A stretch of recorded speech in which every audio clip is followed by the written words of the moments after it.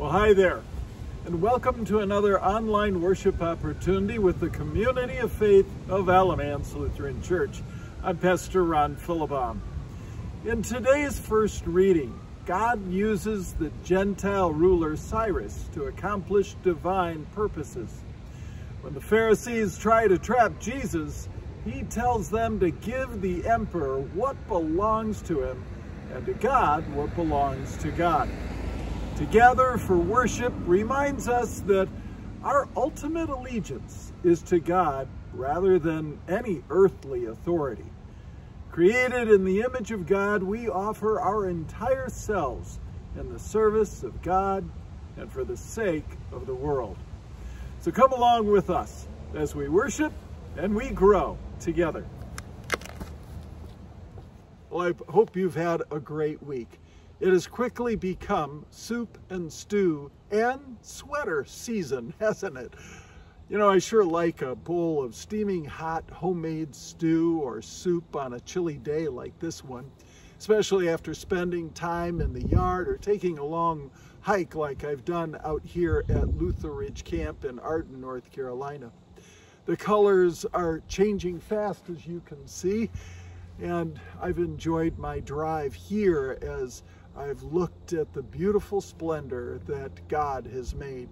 It's made me think of our hymn, This is my Father's world. I know, you want to sing along too. Well, whether you look forward to the changing seasons or you dread it, let's just take some time to bow our heads, asking God for patience with us. So let's pray. Lord, we are grateful for these beautiful seasons that we get to enjoy. Fill our hearts with joy for all the diversity in the seasons and the diversity in the people that sometimes frustrate us, but they also please us. Clear our minds of all that clouds it as we prepare to listen to what you are teaching us today. And bless the words that I speak and the meditation from my heart to be pleasing to you, our Lord, our rock, and our Savior. Amen. Well, in our first reading in Isaiah, Isaiah describes a time where God's work in the world happens through the service of Cyrus, the founder of the Achaemenid Empire. Throughout time, people and organizations have justified their use of power in a variety of ways, including sometimes appealing to a God-ordained right. But power is a slippery thing, which the prophets of the Bible often warned about. Even in this passage, the prophet Isaiah shows through the voice of God that Cyrus may be about to conquer nations, but it's really God who is in charge. I think we forget where are the talents and blessings coming from? In our own lives, we can feel a great deal of personal power through our influence over others, our possessions, and certainly our money. In the year 2020, the credit card company Capital One created some pretty clever advertising, and I'm confident that you have seen the billboards and television commercials using actors like David Spade and Jennifer Garner, Samuel L. Jackson, even a series of Vikings to promote their Visa cards with the slogan, What's in your wallet? Chances are you've seen these commercials. They've hit a nerve in American culture who desires more in their own pocket. And they're not alone. There's been several other credit card companies, even insurance companies, who all offer you cash back for doing business with them. In retail stores, you see a similar strategy where you buy one, get one free. It's like getting something for nothing. And I think people like that, don't you? I wonder, is that how we respond to what God has first given us? Are we the ones to determine the value of God in our lives by the size of the tip? The Pharisees in our gospel are determined to bring Jesus to their knees and under their control by attempting to trick him yet again. They want to know if supporting the government is lawful or not. Jesus is aware of their trick and turns the table on them. The message translation lays it out plainly in our everyday language and give Caesar what is his and give to God what is his. In our world, the Caesar in our lives demands what and when and how much and how often we give.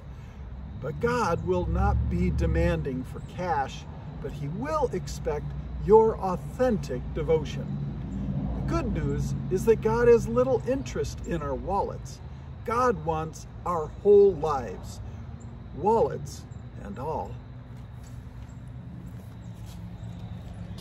If God created the world and everything in it, what doesn't belong to God?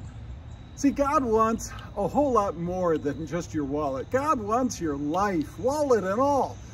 How we respond with gratitude to God is not complicated. In fact, when we're truly honest with Him, it is very simple. We make showing our gratitude too complicated because we crowd our lives with more and more things and take more and more from Him.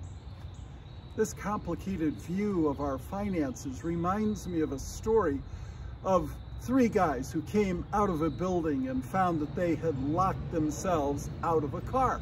First guy says, hey, get me a wire coat hanger and I can straighten it out and unlock the car. The second one says, well, you can't do that. Someone will see us and think that we're trying to steal the car. The third one says, well, you better figure it out because it's starting to rain and the top is down. you see, what we are given to use while we are here and how we say thank you is pretty obvious. But too often we ignore the obvious, like these three guys. You might say that we have uh, modern day Pharisees trying to trick you and me into committing more of God's resources for their benefit through putting it on their credit card or buying more and more of something that you really did not need because it was a deal. Or if you buy two, you get the third free. Yet which of these will listen to your cries at night like God will?